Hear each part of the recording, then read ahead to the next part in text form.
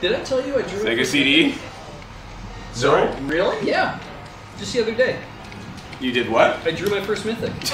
In Puzzle Quest. Yeah.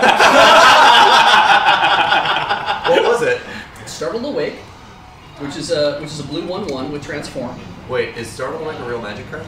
Yeah. It's not a mythic though. It's not a mythic though. No, though. it's in this, it's a mythic. Let me tell you. for for six mana, once it hits the board, like once, once I can actually get it on the board, it, it gives 13 mana to all of my to any uh, to to my entire stack of cards. So it's like I, I cast for six, I get 13, and then when it attacks, it changes to I forget what the it doesn't transform. It changes to something else. When it does damage to planeswalker, it transforms into something else. It's also one one. When that does damage to planeswalker, it goes back in my hand, Thank you. Oh, Startled Awake is a mythic. Oh. and then I can cast it again and again and again, and that's what I do, and I win.